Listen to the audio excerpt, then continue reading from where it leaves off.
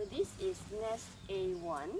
Um, 10 eggs were incubated on the 17th of February this year, 2018. Out of these 10 eggs, uh, 7 hatchlings have emerged by themselves.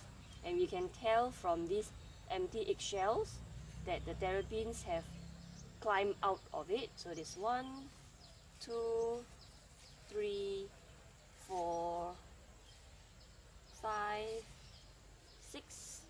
seven. And the three eggs that did not hatch, they look very rotten. Uh, this looks like it was bitten by ants.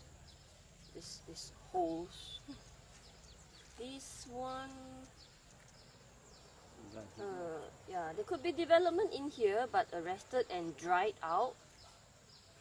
Mm, this one, same. It could be development, but dried out as well. So the hatching success of this nest containing 10 eggs is 70%.